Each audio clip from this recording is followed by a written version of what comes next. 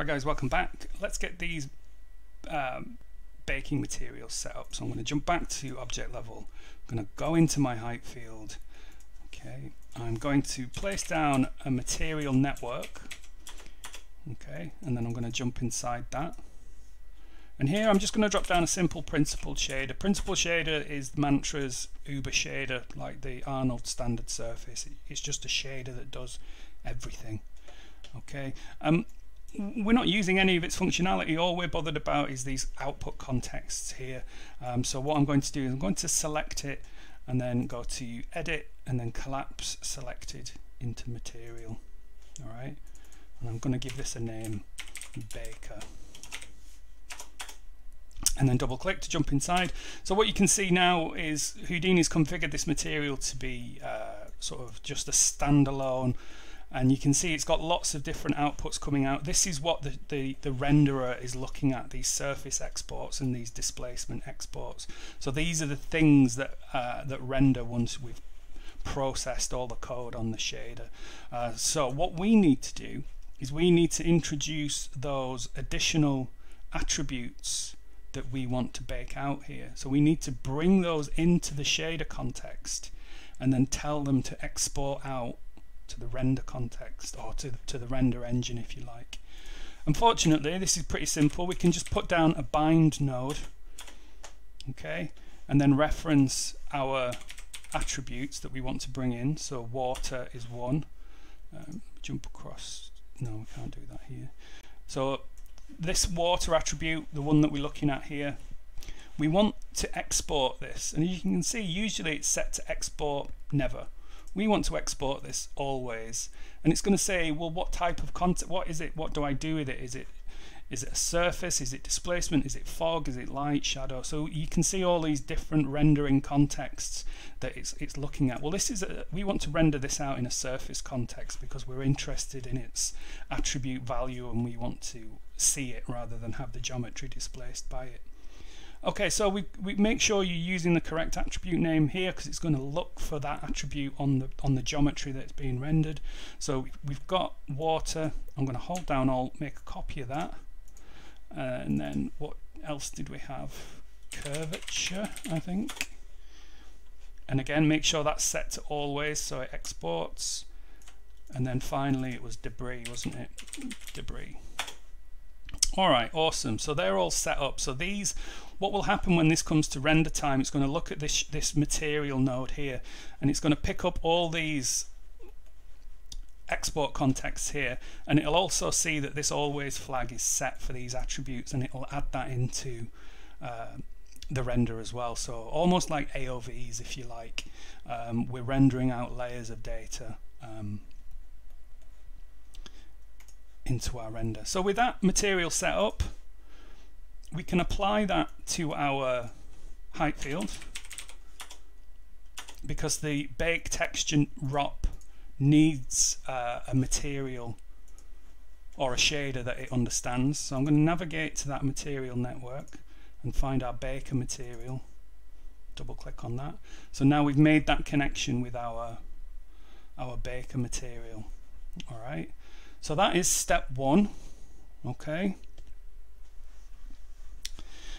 And what we're going to do now with this, we can delete that color node. I'm going to go back to my output context. And in the bake texture node, I need to specify that high res object.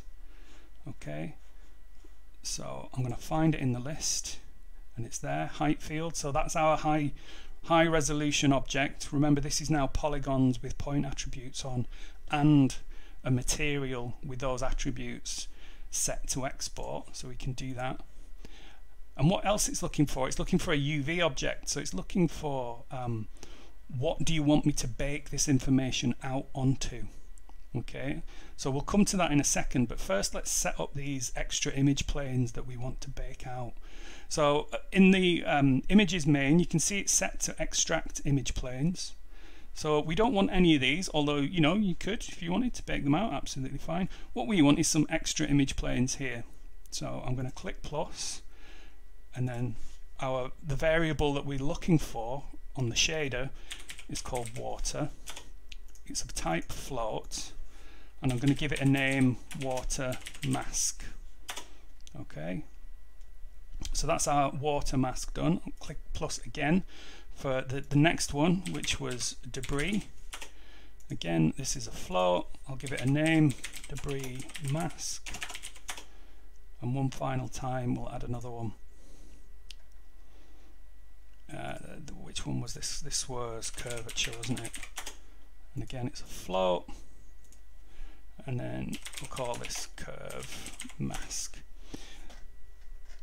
So these are our image planes set up. We don't need to worry about any of these, um, but for testing purposes, you might want to do a, a surface color just to make sure it's working. Like I said, if you if you don't see any of these being rendered out, it means you've forgotten to do something. Um, like I said, it's very fiddly. Um, so just make sure you're stepping through this and you're making sure that all the cases uh, you've got case sensitive names and they're spelt correctly. Um, yeah, because otherwise you'll be tearing your hair out. Right, so let's go fetch this UV object now that we're going to bake out onto and we know what that is.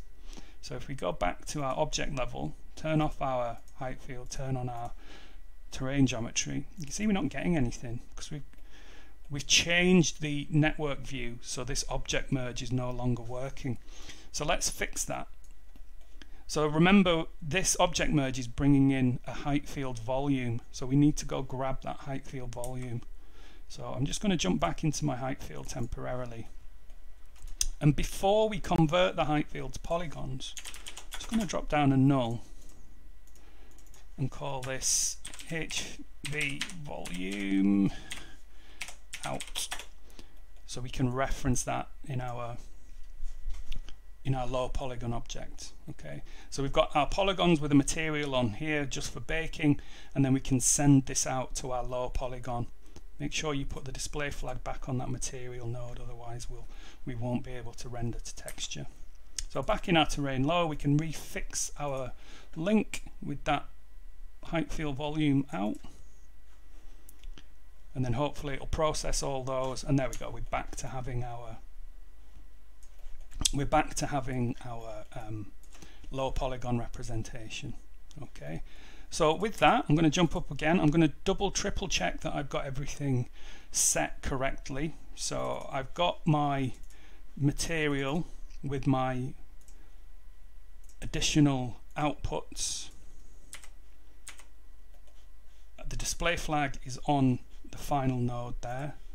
My low polygon object is set on its display flag at the bottom there with its UV coordinates.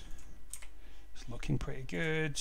Uh, so let's jump across to the bake texture node in the output context. And what I'm going to do, I'm just going to do a quick test to make sure I'm getting the right information that I want. So for testing purposes, I'm going to drop the resolution right down to 256, just so it renders out nice and quick. And what I'm expecting to see is um, one, two, three channels of, of data times four for each of the UDIM uh, tiles. Okay. And also it will probably bake out a black diffuse color as well. So let's just see what happens. In this case, I'm going to render it to mplay, which is uh, the interactive viewer. So I'm going to hit render, and there we go. We've got an error straight away. oh, yeah, because we forgot, see, see, point proven. what we forgot to do is we forgot to reference our UV object. So we need to specify terrain low as our UV object Alright, so hopefully that will stop Houdini getting angry at us. Uh, so with that, let us try one more time. Render to mplay.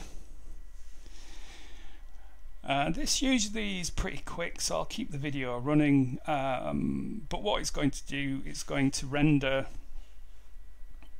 Ah, here we go, right on schedule. It's going to start rendering out those maps that we requested. Um, so I'll give it a second.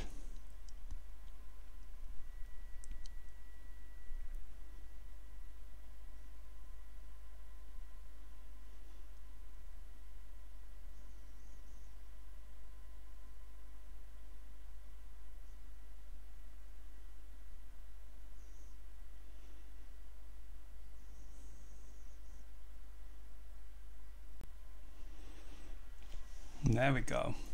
All right. So that was good because I was worried I might have to edit the video and I cannot be bothered to edit the videos. Right, so let's take a look at what we've got. Um, so it's rendered out four frames. So that ties in nicely with our UDIM tiles. If you remember, we've got four UDIM tiles. So you can see here we're starting to get um, it's baked out some colour information. I don't know where it's got that from, but we'll ignore that because we're looking at the, the C for colour channel here. But if we select this drop down, you can see it's baked out those masks for us that we set up, those additional channels. All right.